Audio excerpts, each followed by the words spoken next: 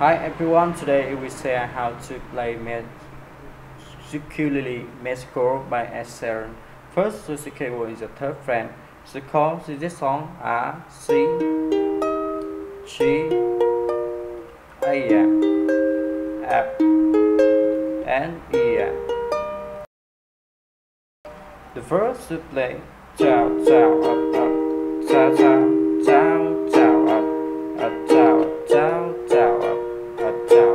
and play long A M C. F C. And the his system is the same way for track to the chorus and post chorus to play down up tap. Ciao up tap up. Up tap up ciao up tap up. Up tap up. And to play long C F G